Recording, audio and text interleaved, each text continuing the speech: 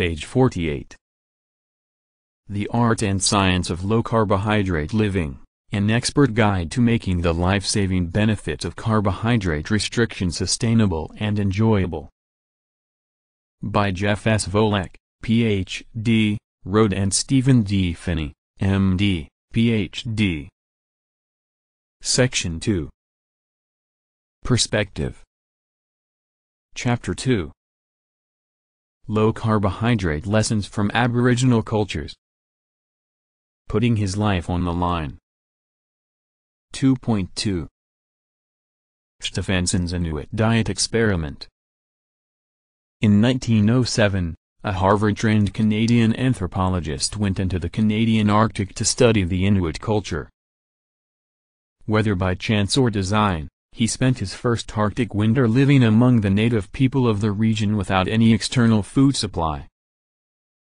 Eight months later, he emerged speaking their language and empowered by the fact that he could live well off the available food of the region. A decade later, Vilhjalmur Stefansson left the Arctic, having traveled where no person of European origin had gone before, sometimes for two years without any resupply. Upon his return to a civilization, he wrote copiously about his experience among Nada people, which is what Inuit means in their language. Unfortunately for Stefansson, the decade between 1915 and 1925 was the era of vitamin discovery at a period in which scientific nutrition hit its stride. Suddenly, we had scientists to tell us what was good for us, replacing grandmothers and cultural wisdom.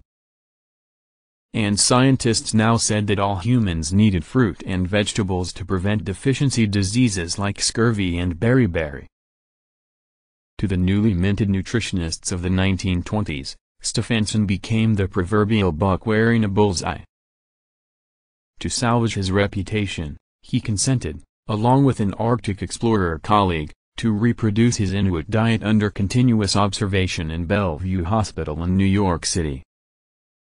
After a year, he and his colleague emerged hale and hearty, much to the disappointment of the scientists in charge. What Stefansson's experience, and many other subsequent studies, demonstrated was that dietary carbohydrate is nutritionally superfluous in the context of a well-formulated low-carbohydrate diet. Furthermore, the fact that Aboriginal pemmican, not the condiment version loaded with nuts and berries to suit European tastes, provided about 75% of its energy from fat necessarily leads us away from the common misconception that hunters' diets were high in protein. Even the Maasai dietary data provided by Orr and Gilks, if we use modern meat and milk composition data, suggest that they ate about 30% of energy as protein and 70% as fat. Thus we have a range for the proportion of fat in culturally evolved hunting and herding diets from 70% to more than 80% of daily energy intake. There are, of course, extensive published data that dispute these proportions. Analyses of food waste from cave floors and village middens, mounds of discarded household waste, often suggests higher protein intakes leading some to contend that a typical hunter-gatherer ate 40 to 50% of his energy as protein, 20% as carbohydrates, and only 40% or so as fat. However, there are a number of problems with getting good quantitative information by this method. For example, it does not allow us to know which parts of the food were treasured, which discarded, and what parts were fed to the dogs. Among the Inuit, when a seal or caribou was killed, the fat was saved for human consumption, or lamp fuel, and the leaner parts were given to the dogs, or any gullible white guys in the party. Farther to the south, when a spring buffalo, that is, one that had yet to rebuild body fat reserves after the winter, was killed on the Great Plains, the humans ate the tongue, liver, and marrow. These tissues tended to retain their fat content even during periods of privation.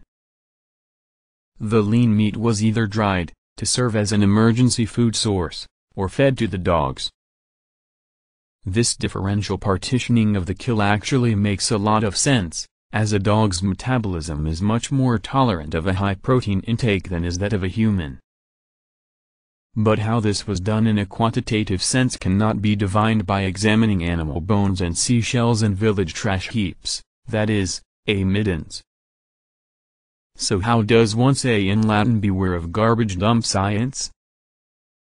Another limitation of studying these refuse middens is that they only occur adjacent to long-term sites of habitation, such as towns or villages. However, some of the most highly evolved hunting societies were nomadic. If you spend most of your year on the prairie following the migration of the buffalo, you are not going to spend enough time in one site to create a midden. And if you manufacture pemmican at multiple sites along your migration path and return with it every year to a protected winter camp, then nothing you discard in an adjacent dump will inform the modern investigator that much of your diet consisted of fat that was harvested elsewhere before coming into that camp. Similar concerns would apply to shell middens found on the British Columbia coast and elsewhere. These imply a high intake of shellfish protein. However if fresh shellfish harvested in the fall and winter are dipped in oolichan and grease transported from a distant spring oolichan in camp, that component of the diet would not be appreciated by examining the midden at the winter camp.